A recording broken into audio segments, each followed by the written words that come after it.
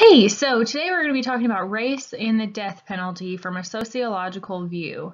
My name is Dani and I'll be presenting this to you. So a little bit about the general history of the death penalty in the US and a little more broad. Uh, dates as far back as the 18th century BC. Um, a lot of Greek and Roman areas were practicing crucifixion, impalement, drowning, beating people to death for various crimes. Um, the Europeans first brought it to the Americas, and it was first recorded in 1608 when I believe a Spanish spy was stealing American intelligence, something similar to that. Um, the use of it in the U.S. gradually rose from the 16th to 19th centuries, but it definitely peaked in the 20th centuries. Um, and then over the past 25 years, we've seen a pretty sharp decline in the use of capital punishment. So let's look at the history of race and the death penalty in the U.S. specifically. In the earliest 20th century, 89% of executions were of black men for the rape of white women. Now let's think about how white men were persecuted for the exact same crime. Or let's say if a white man had raped a black woman, how would he be punished? Uh, he would probably be fined, maybe be imprisoned, maybe receive both, but how is that fair? You know, a black man would receive capital punishment, but a white man would get fined? So less than two tenths of two tenths of a percent of white men were executed for murdering blacks from 1608 to 1989. In more concrete numbers, that's about 30 cases. In all those years, only 30 cases. And in the modern era, the criminal justice system is more focused on the murder of white people, meaning more people are getting persecuted for murdering white people than for murdering black people. And in 1987, the Supreme Court was kind of recognizing this. Society was recognizing it and wanting something discussed, something maybe done about it. So in 1987, had a debate. Um, are racial disparities valid concerns? And le the legitimacy of the death penalty was upheld. You know, the Supreme Court said it is what it is. There's not racial disparities, and we're going to continue using it. We've got a few charts to look at. This one considers the past 25 years across the U.S. Uh, executions by race of defendant and executions by race of victim. So if you're looking over here on the left, you're going to notice that whites are the majority of executions by race of defendant. When you're looking over here, execution by race of victim, again, is whites.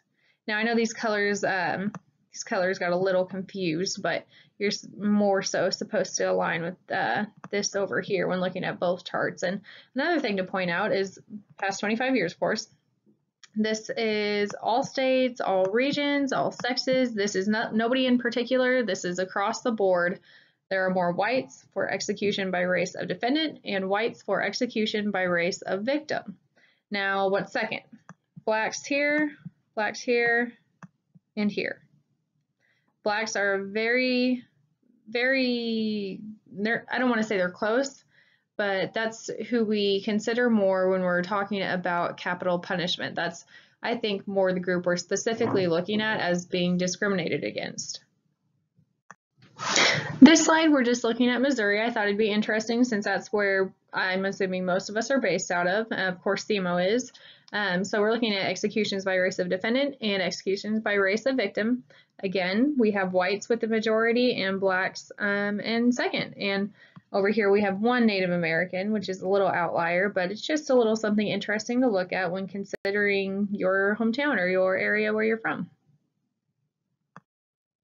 In this slide, we're looking at the past four-ish years across the United States. I thought we should do something more modern than just the past 25 years. However, again, it's interesting to see that whites across the board receive more executions by race of defendant and executions by race of victim. And again, we're looking at all states, all regions, all sexes. So what's really the social impact of race and the death penalty in the U.S.? Well, the U.S. is the world leader for incarceration in general and for over overrepresenting minorities in the prison population. What I mean here is that we have 483 white men per 100,000 prison population compared to 2,841 blacks. Latinos fall somewhere in between, but it's similar for female and male. If you're a white male or white female, there are way less of you incarcerated than there are for the same black female or male. Um, so let's look at some things that might contribute to the overrepresentation. Um, we've got four different categories we want to look at. The juvenile justice system, the racial ethnic bias that those minorities receive, um, barriers to parental advocacy, and system labeling. Uh, socioeconomic conditions is something we discuss pretty often. Those low income jobs, the lack of job, job opportunities, and the fewer community service support systems play a huge role in where somebody's future might end.